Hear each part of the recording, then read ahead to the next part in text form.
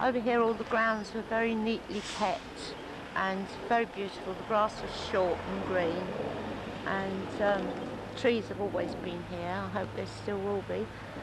And um, over here was the playing field.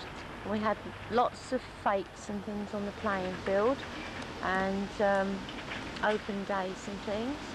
And just in that far corner there's a patch where the old canteen used to be, where the patients used to go and have cups of tea um, at break times after dinner.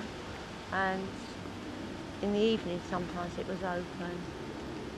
Uh, And here we see a patient from Anderson Ward who still doesn't believe Hill End is closing. Perhaps somebody will tell him in a couple of days' time. old canteen site, the foundations of it all, it's gone. And spent many hours in this, this canteen, drinking tea and smoking and doing all the things that Hillenders do. and I, I enjoyed it and I could just visualise the fete over there with all the tents up and the fancy dress and everything. It was really lovely. This grass was really green. Now it's all overgrown. Home to many mice now, I expect.